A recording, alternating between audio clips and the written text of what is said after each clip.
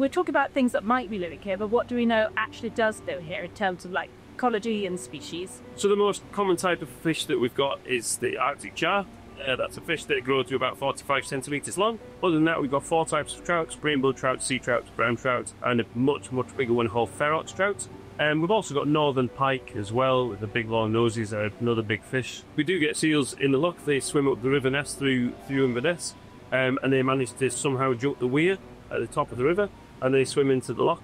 In 2018, there was a team from the University of Otago in New Zealand came over um, to, to study Loch for DNA, and within those found just under 4,000 codes of DNA. The best part, a thousand of them are unknown. We've never seen them before. As part of that study, they did not find any sturgeon or catfish DNA, so the scientists have ruled those two out as possible theories for the monster. But they did find eel DNA in most of the samples, so they currently think that Nessie is most probably a giant eel